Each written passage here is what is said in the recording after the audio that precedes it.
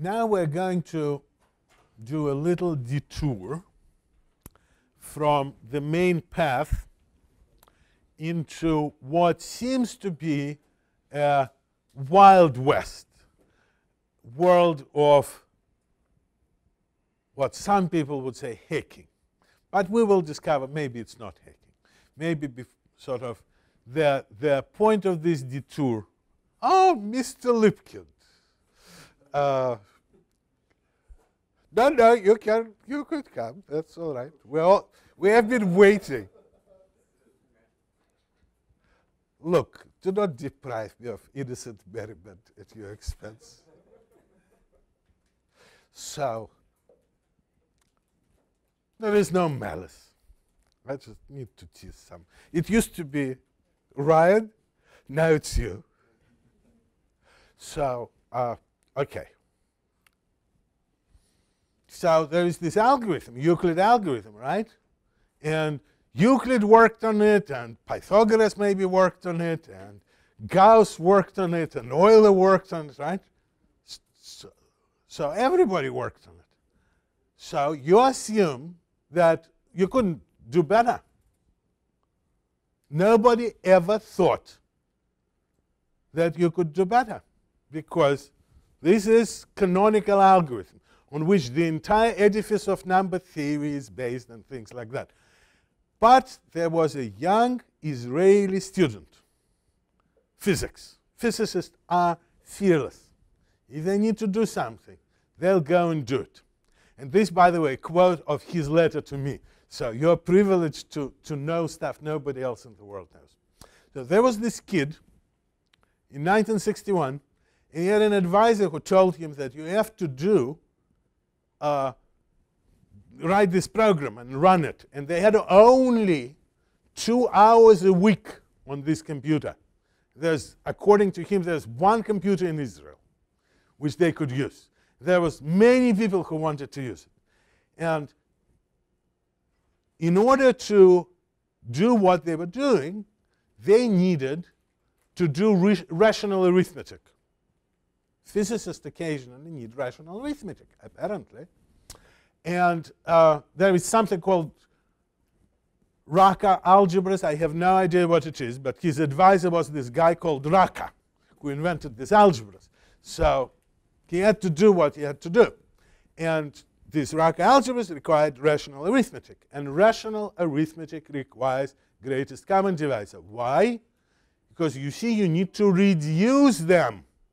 Otherwise, they P and Q will get bigger, bigger, and bigger. Equality will become harder, harder, and harder. So you need to reduce them. You reduce them by using GCD, right? You should have learned it in about fourth grade, I think. So this guy, Joseph Stein, was pressed. It was either not finishing his thesis and dropping out of school or inventing some way of doing GCD which would work because Euclid wouldn't work for him. It was way too slow because Euclid depends on Brian. You could move to your thing. That's all right. So, uh, so uh,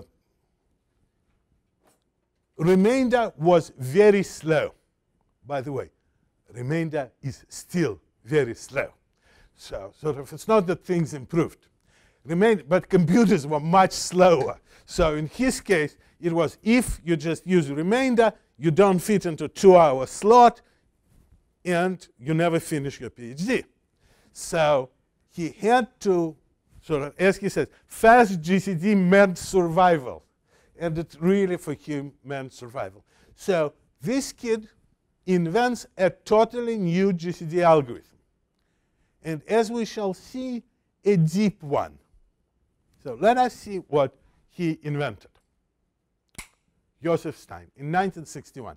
By the way, the amazing thing, and that's how we, I started sort of exchanging letters with the guy, is that I found out that Knuth, when he describes the algorithm, says that it was invented in 1961, but then quotes a paper which was published in 1967.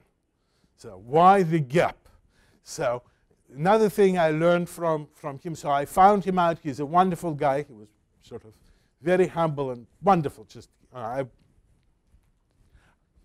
one thing, he refused to, to give me his picture because I wanted to put in this slide his picture.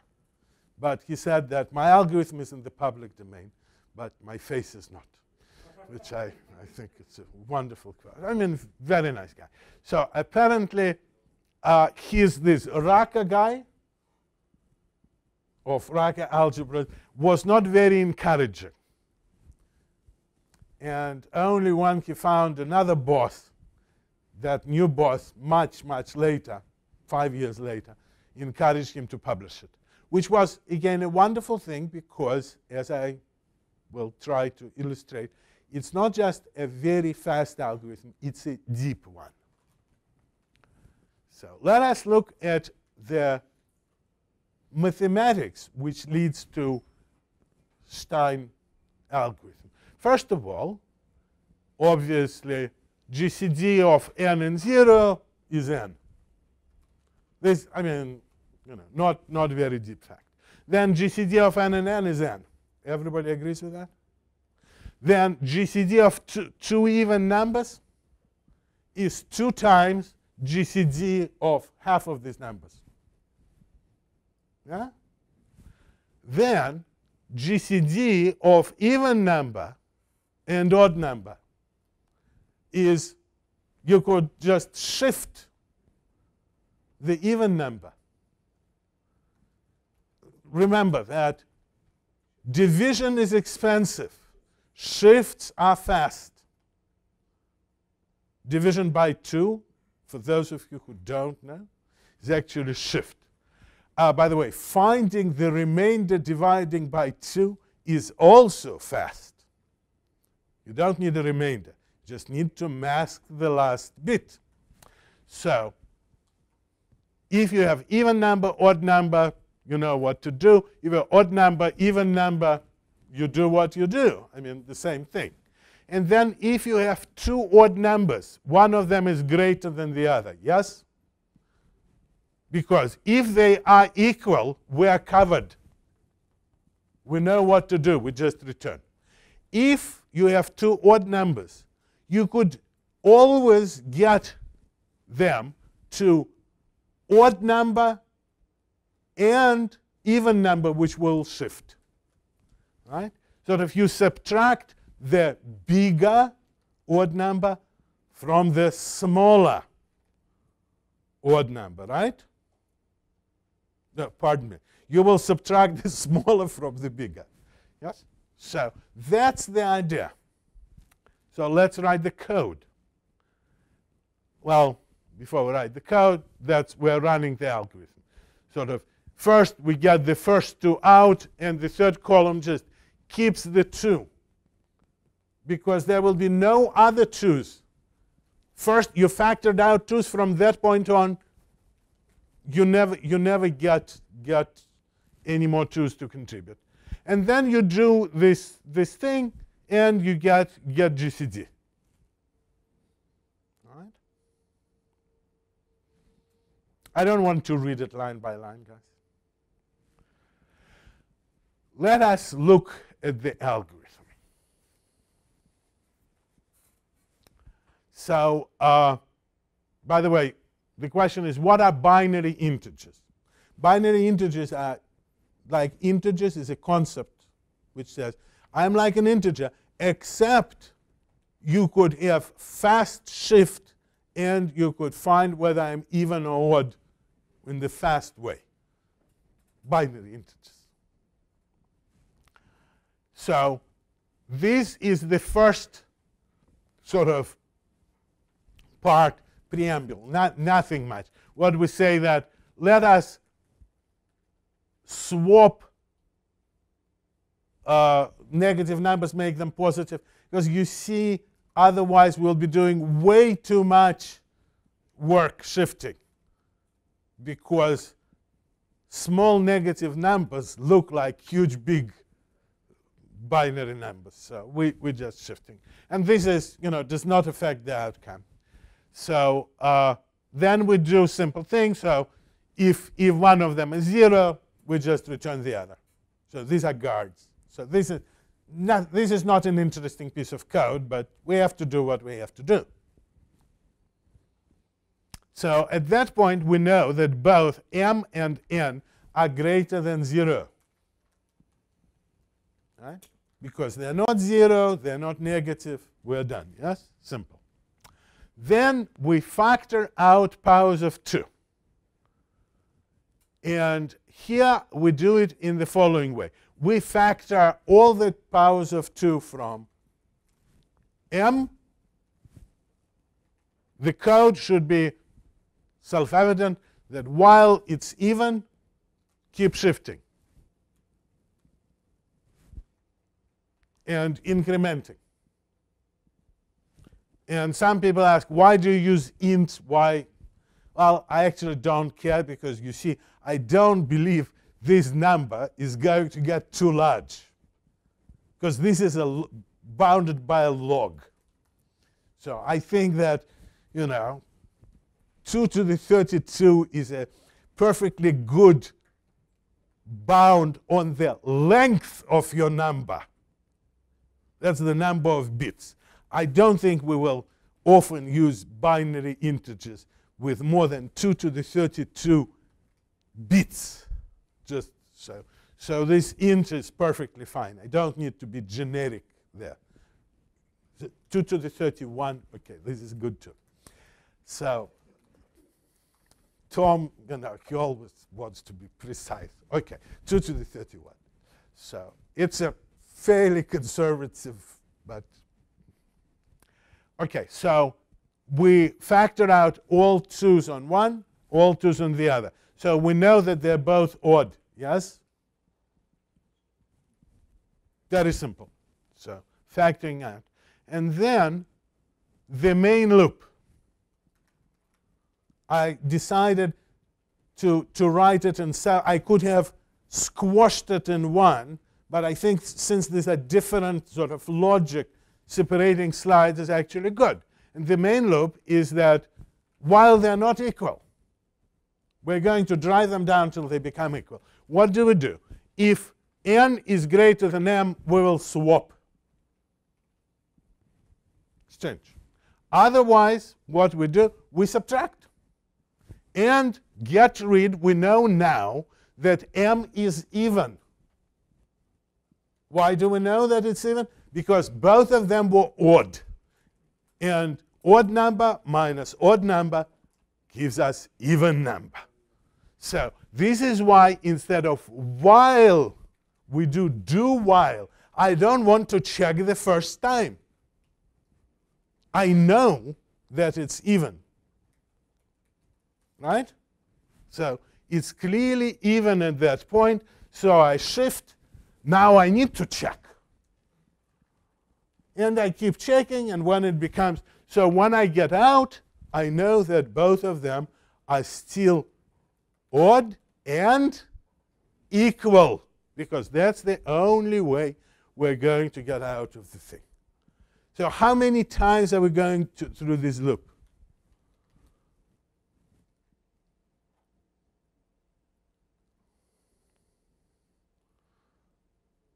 At most as many times as you have one bit in both minus 2 minus the last bit which obviously you don't shift so this is a logarithmic algorithm. Sort of it's bounded by the number of ones in, in, in, the, in the thing. We shift to get. And then what do we return? You see, we need to take mean of these two things. And then we shift up. I think it's beautiful, guys. It's absolutely beautiful. So here comes the very, very important point, however. The point which, which, which sort of forces me to always people say, so why do, I mean, it's just a hack. People who need to do it will find it in Knuth. By the way, it's false. People can never find anything in Knuth. Finding things in Knuth requires linear traversal. sort of, and highly recommended. I have done it several times and discovered many jewels. But finding is not easy. So, but there is a very profound lesson, which I'm going to repeat several times today. What's the lesson? There are no such things as good hacks. Right? This is a beautiful algorithm, therefore it's not a hack. Therefore, there is something profound about it. We have to sit and study and think. What should we think about? Could it be generalized? Is it just binary integers? Is it just an accident of fate that our computers are binary, not ternary? And remember, Russians tried to building, building a ternary computer called Setun. It's in Knuth. If you do linear traversal, you'll find mention of this famous. I mean, 3 is a much better base for gate construction. You get the actually the best, the minimal number of gates if you have arithmetic based on E. But that's hard. There are some other issues there. So the best base in terms of number of gates is as close to E as possible. And 3 is closer to E than 2. So in terms of gate reduction, 3 base-based computers are actually optimal. And in Russia, they tried building such a computer and succeeded.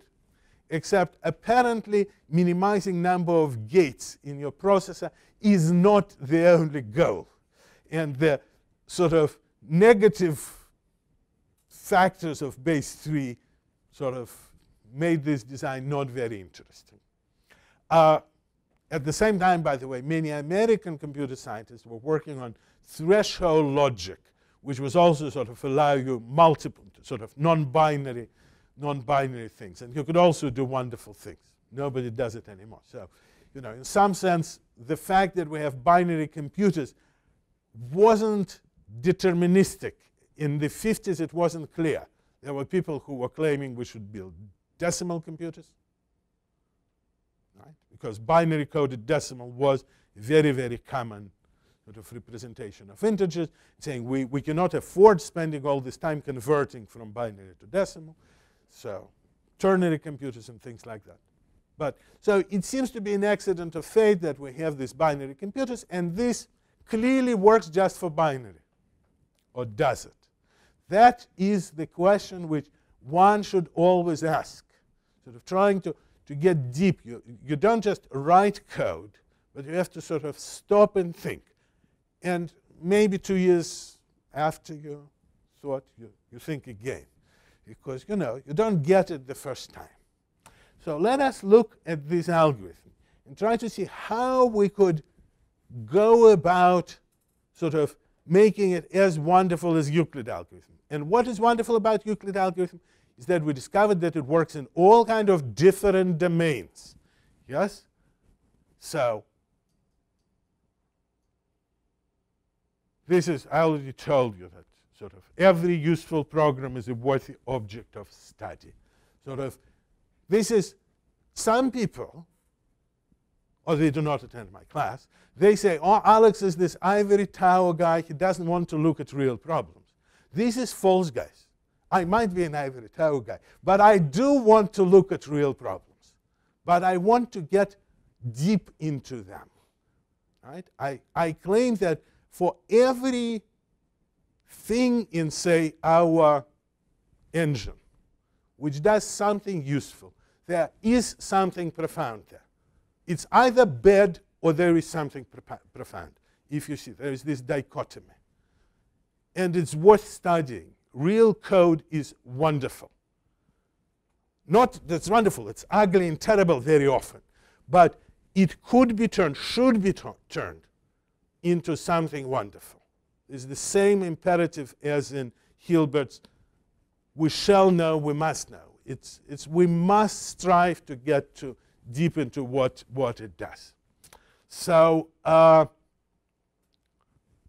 let us go through, we, we went through, uh, but let's just quickly go through how generalization of Euclid happened. First, there were Greeks. They were using it for line segments or line segments which are integer-like, right? Then Stevin makes enormous breakthrough. The algorithm works for polynomials. He realizes that polynomials can be viewed as a data, not just a procedure, and invents algebra of polynomials and shows that polynomials allow you to do Euclid algorithm. Then Gauss, who hates the algorithm, is forced to admit it with Gaussian integers. Then Dirichlet, Dedekind discovered that it works for all other kind of things, and then eventually generic version by Noether in around 1930. I suspect she knew it about 1921, but the book by van der Waerden came in 1930. So long time, long time, but eventually we get the, this generic abstract version. Now, let us see if we could speed up history, if we could take Stein's algorithm and go through the same path faster. Apparently we could, because we did. You know, in a sense, it did happen. The first step, which took here 2,000 years, took less than two years. In 1969, Knuth knew, I cannot tell you who invented it. I know that Knuth knew about it in 1969. Remember, it's published in 1967. In 1969, Knuth knows that it could be used for polynomials. You say, well, polynomials, I mean, they don't have even and odd. Polynomials over real numbers. How could you do it? But it's absolutely brilliant. Somehow, you could use x the way we use 2.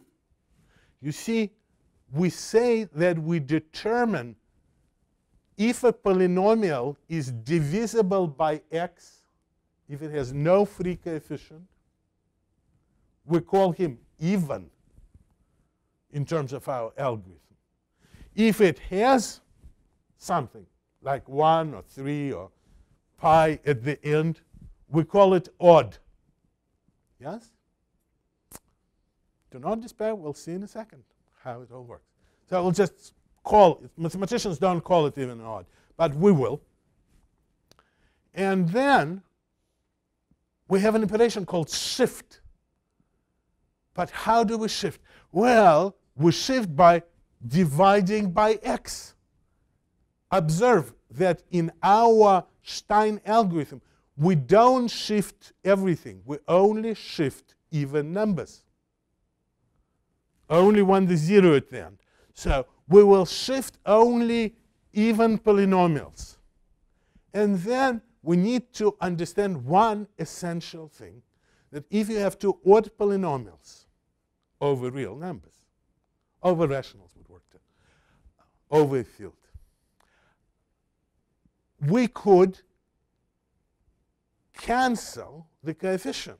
We could multiply them by some constant, so to equalize, well, we multiply 1 by a constant to make its free coefficient equal to the coefficient of the other one. And then we subtract. So we make 1 even. And we keep going and going and going and going. Okay, this one let us do carefully. So this example, unlike the previous example, I want to go by line by line to assure that you see it. Right? So, first of all, do you agree with the first line? Yeah. It's the same. The second line is the same, the same mathematics as before. Now, the mathematics becomes very simple. If you have two polynomials divisible by x, factor x out. If you have one polynomial divisible by x, another one not, you could just get rid of this x. So you get rid of it. and the other way around. Now, if you have two polynomials which are not divisible by x, that's the final case. The degree of 1, it's either going to be greater or equal, or it's going to be less. It's known as excluded middle, either here or there. So let's pick this one. So what do we do? We have one polynomial which is xp plus constant. So it's not divisible by x. And another polynomial, xq plus constant, not divisible by x. What do we do? We multiply first polynomial by c over d.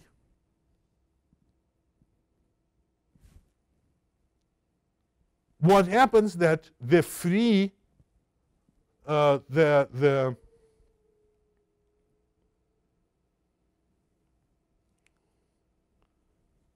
sort of one woman say it's it's the, you you get cancellation, right?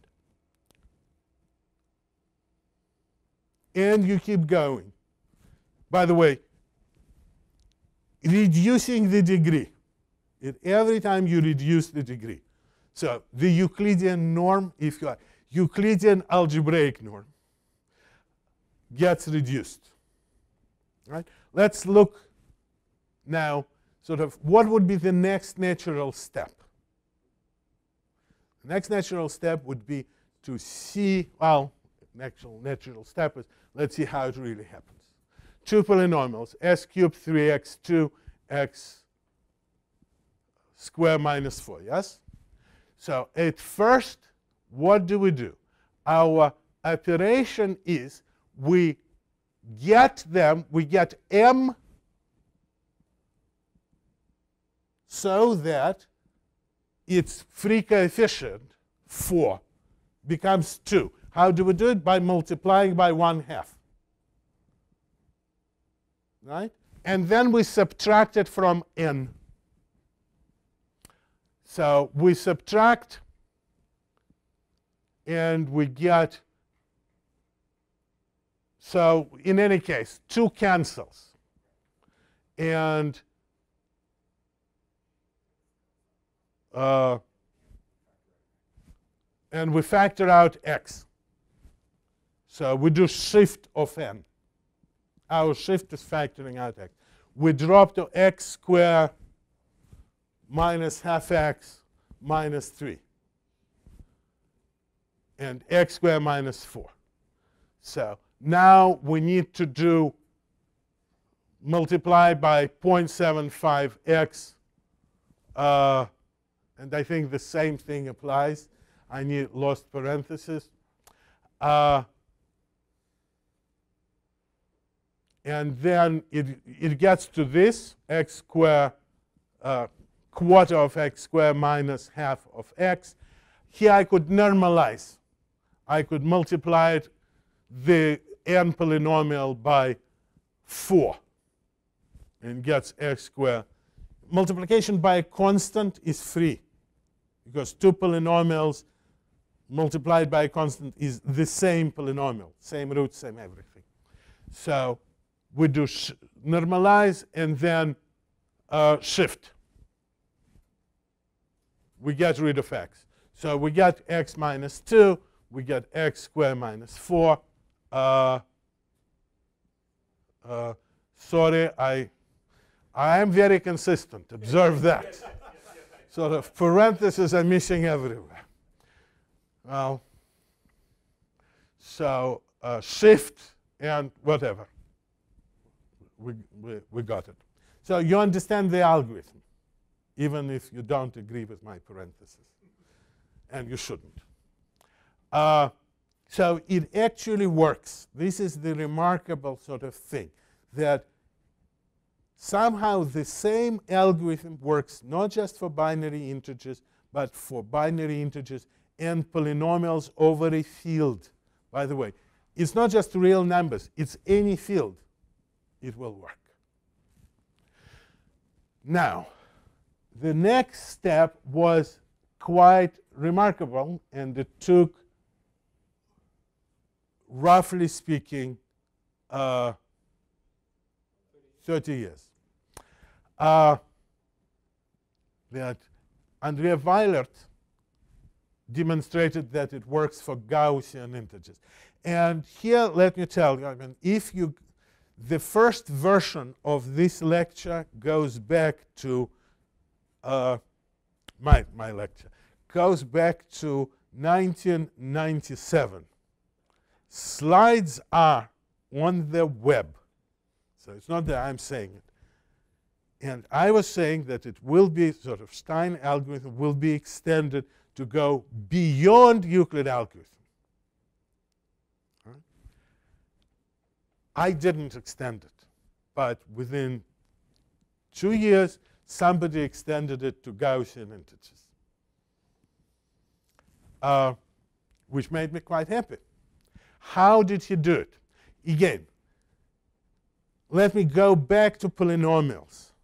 As with binary integers, division by 2 is faster than general division, right?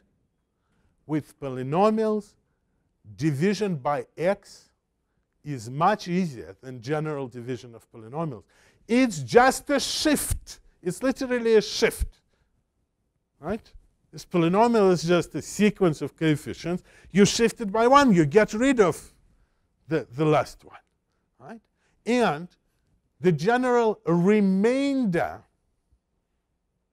for polynomials is much harder than remainder divided by x, which is, again, just the last coefficient, just the free coefficient. So these operations are fundamentally cheaper. And the same thing holds for Gaussian integers. That is, general division of two Gaussian integers is much harder than division by 1 plus i. Let us see why. Here I'm actually couldn't resist and stuck some non-trivial mathematics, one line uh, here. So let's see how it, we divide by 1 plus i. You see to divide a i missing, i missing here, some another bug. Uh, you, remember? Three bugs already. So a plus bi, we, so we multiply both sides. Well, it eventually bug fixes itself. I reappears, but whatever. So uh, we multiply both uh, numerator and denominator by i plus uh, 1 minus i. We could do that, right? What happens? Well, this is true. And this is just a plus b, and this is a minus b. So we're replacing, we don't need to do anything other than plus, minus, and shift. No, I, I is there. I is there.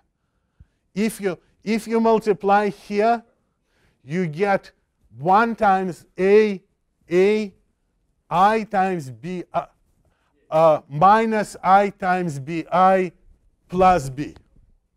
And the same way, I mean, right? So, no, here I, you know, I try not to make mistakes, except when I make them. So, uh, this is correct, because that's the result I want. So I, I knew what, what to get. So it's a very, very simple, it's very efficient. You don't need to do any divisions. Right? And it's, it's, it's the, the wonderfully easy way to check whether you're divisible or not. If A is equal to B mod 2, then you're divisible. If you're either both even or both odd which is very simple test. Now,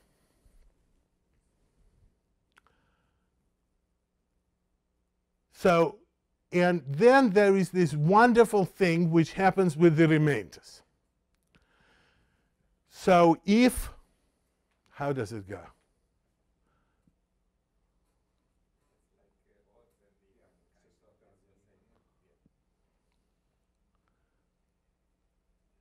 Right. And at least one of them, one of these guys, you need to correctly pick one of this. Because while not all of them are going to reduce the norm, one of them will. So you have to pick the right one. Right? So, and apparently Weilert did experiments and it makes it faster, considerably faster. This stuff is important in computer algebra. So, uh, all right, so now we need to, to make one more step, sort of. How long will it take to make one more step? And here I have to tell you again, this is a personal story, but it's quite remarkable. The next time I give this lecture is in University of Copenhagen in 2004. I think 2004. And uh, I'm invited to give a long lecture. It's like five-hour lecture on this stuff. So I give this lecture, and at the end I say, well, and I hope that somebody will show that this algorithm works even in cases Euclid algorithm doesn't work. That it will work in broader classes of problems, say I. And then there is a break. It's this infinite lecture with several breaks. So I go get coffee, and the guy comes to me, and he says, You know, you might not know it, but six months ago, you know, my advisor and I published this paper where we demonstrated that for certain non-Euclidean quadratic algebraic rings, this algorithm works. And that's what it's, it's this amazing thing when you, you sort of you, you say that, oh, well, you know, I wish something would happen. And right there and then somebody comes and says, yes, I mean, your wish is granted. Uh, you know, I, I was very impressed with them, not with, I, I didn't do it. So the first intermediate step, which I missed, I learned about this step, which, which is sort of very important, but I just missed it because I was giving lecture 2004, and you know I don't track all the papers published in computer science. Probably understand why not. Uh, so I missed that one, and uh, so there are two guys from University of Aarhus in Denmark. This is why my trip to Copenhagen was very fortuitous, at least for me, because Aarhus is actually very close to Copenhagen, and they, they came to, to listen to my, my, my, my lecture. So they proved it that it worked for Eisenstein integers.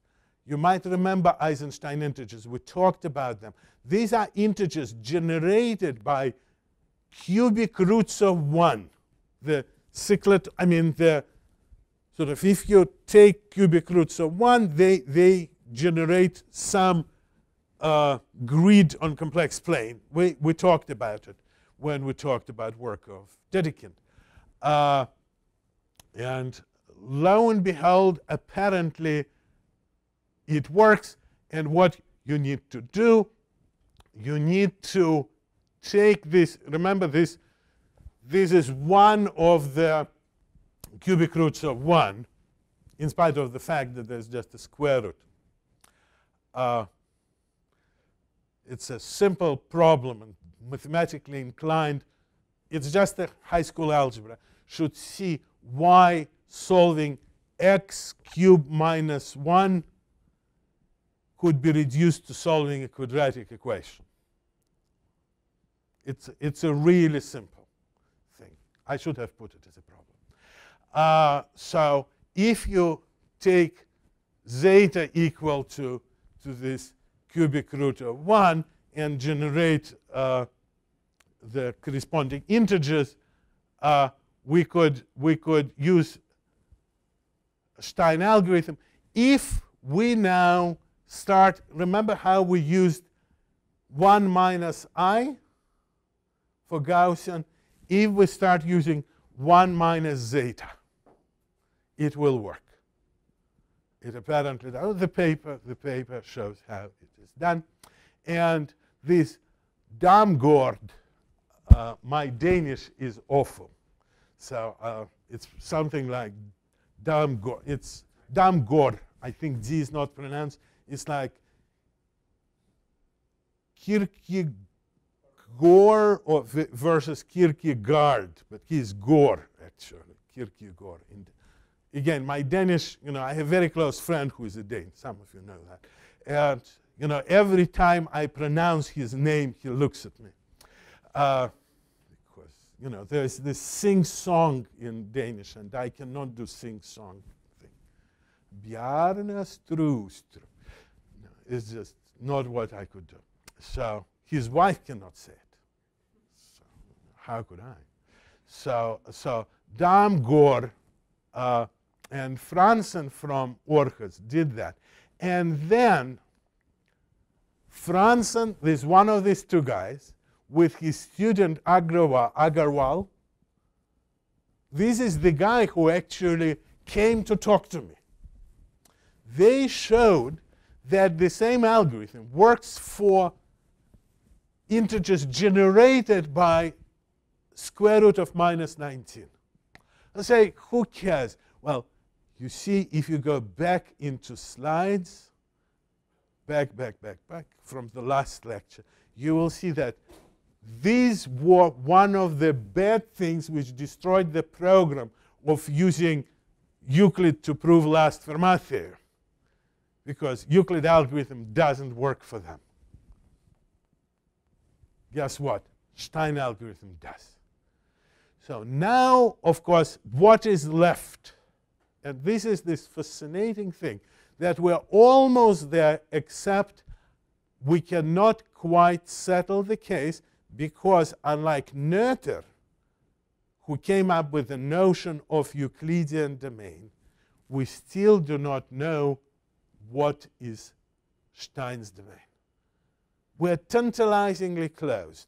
Again, I close. We, you know, I have been asking this question when giving. Uh, it's not. It's not some. It's just sort of since 1997 or 96, I forget when I, the first time I gave this lecture. Uh, again, the, web, the website says when I first time. So what is Stein domain? What is the general setting of this algorithm? And we're yay close, but no cigar. We're not done. So again, uh, maybe one of you, you know, it's, it's always, it's always possible like Anil sitting there pensively. Maybe he'll just do it. Uh, okay. I need to explain, we're almost there. Let me explain few things from ring theory, which we didn't cover in the beginning of the lecture. Of course, there's always method in my madness. I have to bring rings back. So let us, we already know what is unit is, yes? Unit is invertible element. So u is a unit if there is v such that v times u is 1. Now, let me tell you another definition from ring theory. Two elements of a ring are called associate elements if they differ by multiplying by a unit. For example, what are associates of 5 in integers? and 5 itself. Yeah? Two associates. Right? What are associates of 5 in Gaussian integers?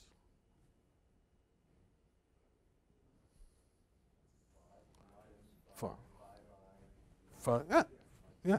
There are four units. We multiply by four units. There you know, four associates together. And by the way, there is a very simple thing, which you should be able to prove, just like that, is that if I am Ryan's associate, he is my associate.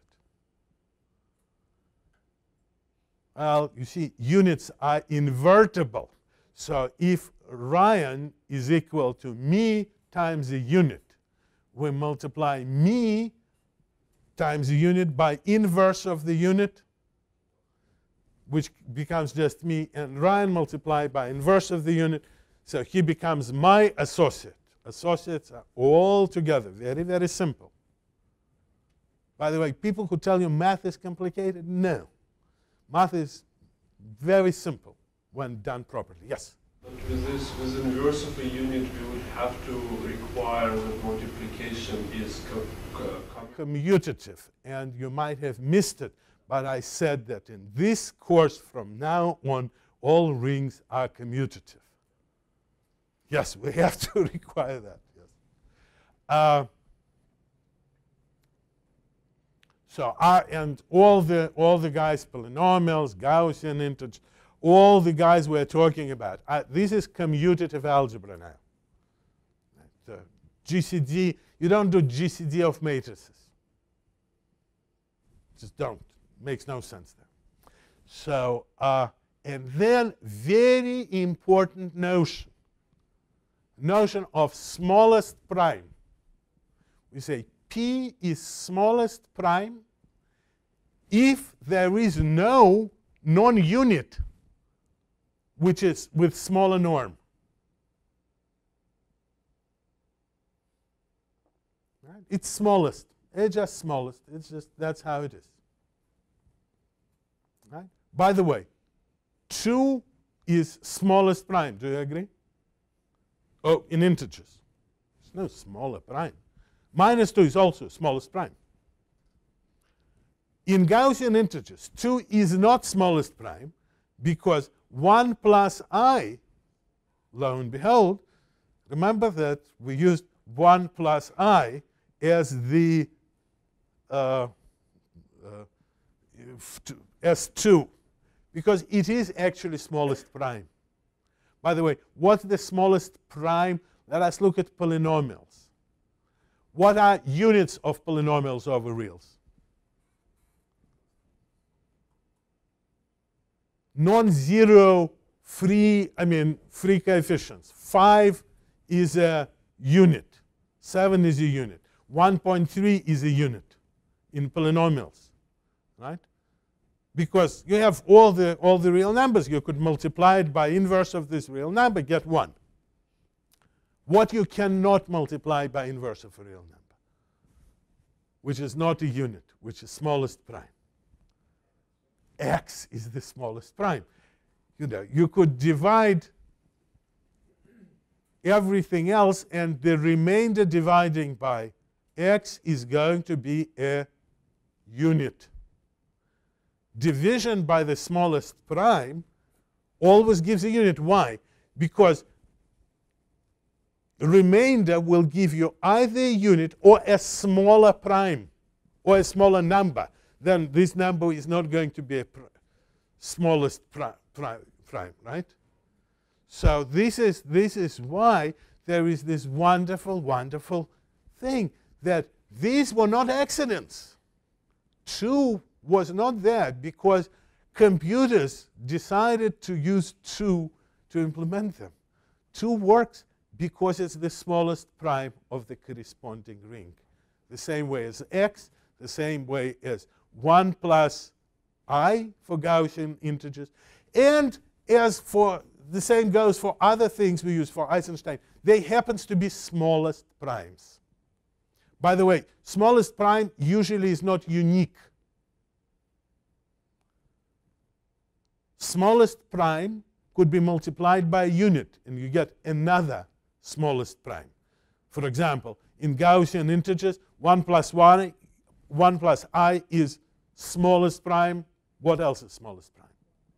1 minus i, minus 1 plus i, you know, all these four guys. They, they're four, four combinations, right? They all give us smallest primes.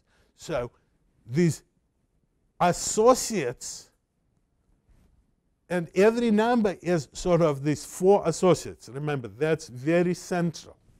What, what's the norm in for Gaussian integers? Uh, a square plus b square. So the norm is 2.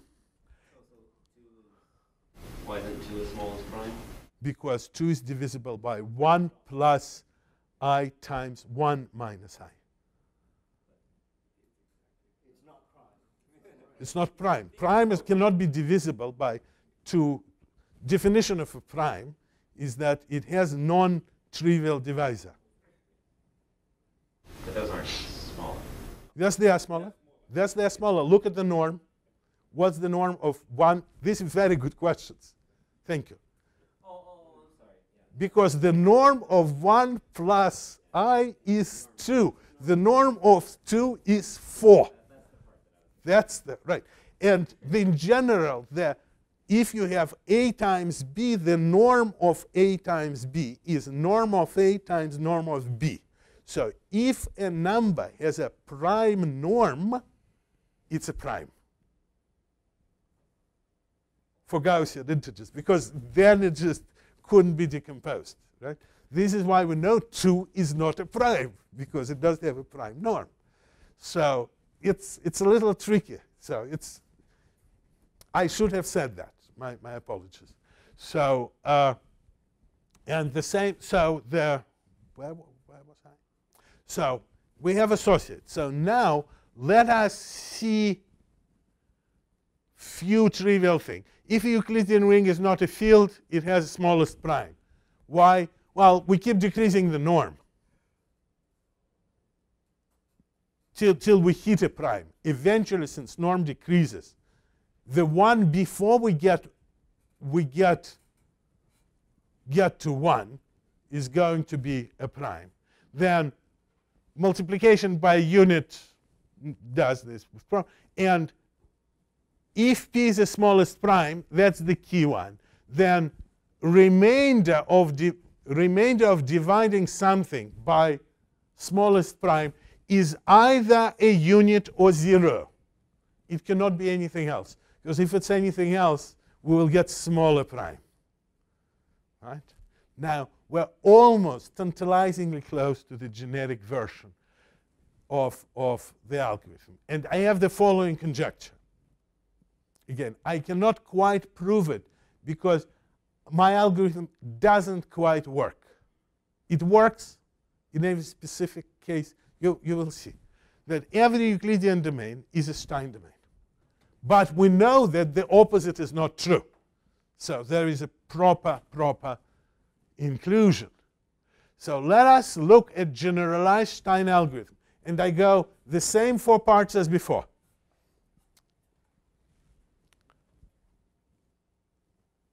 So Stein GCD, again, the beginning is, this is all trivial. So, uh, amazing. So, uh, if, uh, if it's 0, then return the other one, right? Then just get the smallest prime. But we will not need it till the very end. So this is why it needs to be moved.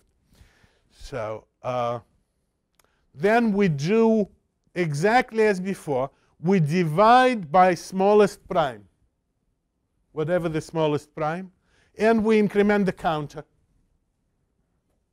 how many times we divided by whatever it is. 1 plus i. We, we keep, you know, it's exactly the same. And then, it's again, we somehow now, we do not check, we used to check m is equal n. You see, we live in a much harder world right now. You know, they, they couldn't be quite equal. You could have 1 and i, and you need to stop. So you need to figure out that they're not associates, right? That they're not equivalent to multiplying by a unit. So we need this operation, this associate. Then we check the norm and swap them. And then there is this mysterious operation, which I cannot name, but I cannot quite define axiomatically reduce associate remainders. That is, I need to be able to take these two guys, which right now are not divisible by smallest prime, multiply them by unit. We know that both of them have remain non-zero remainders divided when divided by smallest prime, right? Because we factored out all smallest prime, so remainders are not zero. We know that these remainders are units. Do we know that? Yeah, because nothing else. It's either zero or unit. We proved that. Now, this is wonderful thing. We know that units constitute a multiplicative group. That is, we could make always multiply 1 by some unit to make, to make them equal. And then we cancel them. But there are different ways. Remember what we had with, there could be different ways of canceling. We could multiply 1 by some unit and another, and only one of these canceling might reduce the norm. And even that I do not know how to quite make formal. So this is the last remaining thing is to sort of figure out the semantics of that guy. But we're, what I claim is that we're tantalizingly close to sort of understanding the abstract setting of in a very different way from, from Euclid of, of, of, of, this, of this problem. And again, it's sort of, I love this smallest prime thing. It's just something fundamental about it. It's not, it's not a random, it's not a heck, if you like. It's good. And then finally, it's very simple. We raise our smallest prime. It's the first time we need it. This is why we need to move him to this. And uh, we raise it to minimum of these two things. And remember power from the first journey? It comes back, so we raise it. This is like shift, unless we have a faster way, unless we have left shift, which we might. But if we don't, we still could just use power and multiply m by that. And we get this fully generic Stein GCD. So um, in previous slide, uh, do we need to accommodate d underscore m? On this slide, yes. No, not here. As the same as with Stein. From that point on, they, you know, they, they never present in both. I mean, we factor them out in the beginning, all the joint x's or 1 plus i's. No, we don't. So this is, is exactly the same code as non-generic version. But yeah, so in, probably in the generic version as well? Yeah, yeah. No, we don't have the same problem. Okay, so why do you need this code in this case? No, no, because you need to reduce, you need to get to m. This is like the cascade of minuses, basically. Yeah. This is the cascade of minuses and shifts to equalize them. Otherwise, they, they're not equal. So that's what makes them equal. There are two, two things. You factor out two, and then you make whatever them equal. So, so this, this is the same here. All right? So,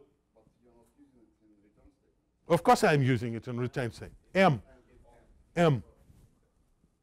It's exactly the same. There is no difference between generic and non-generic code except sort of replacing so, some, the logic is the same.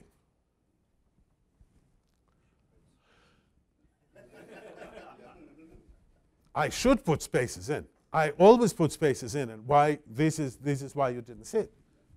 Ryan. I mean, he still could remember his name, unlike me. So, the conclusion of all, what are the lessons? So, first, that this is, to me, this story is utterly fascinating. That what Josef Stein did shows, shows us this wonderful, he bravely attacked a classical problem. And so should we. In a sense, if all the textbooks tell you that sorting is n log n, you sort of say, well, of course sorting is n log n. Maybe not in your application. Right? Sort of keep an open mind. And if you manage to sort in linear time, try to figure out why. Because obviously the, the n log n bound is correct. It's not that you defeated old mathematics. You just discovered some profound condition on your stuff, on your problem. So this, this is basically something which we should always remember. That yes, we should sort of, great mathematicians are so greater than us, no question about it. But we should still bravely attack problems on which they work. Sort of this is, and again, you know, my letter exchange with, with Stein sort of, the guy has amazing humility. He's just a, such a wonderful guy. This is why he bravely attacked it. It wasn't an arrogance that, oh, I don't care about them. It was just, I need to solve this problem. Let us see if I could find faster solution. Because he had constraints. And again, constraints are good for creativity. There is this modern idea, a vile idea, that creative means having no constraints. No, Mozart was creative precisely because he obeyed infinitely many self-imposed constraints. Right? So constraints are good, right? sort of practical constraints. Not enough storage, not enough CPU time, sort of whatever, whatever management comes up with is actually good. And then sort of the, the final lesson is that there are no hacks. If there is an optimization, if something improves the algorithm, there is probably something deep which needs to be identified. And obviously, you could miss it. I'm not saying, oh, I could miss it. I probably miss most of it, but there is always something deep. There is something. This is why I wanted to bring Stein algorithm into into the story. And it is a neat algorithm also. So, and you might need rational numbers one day. So, see you next week.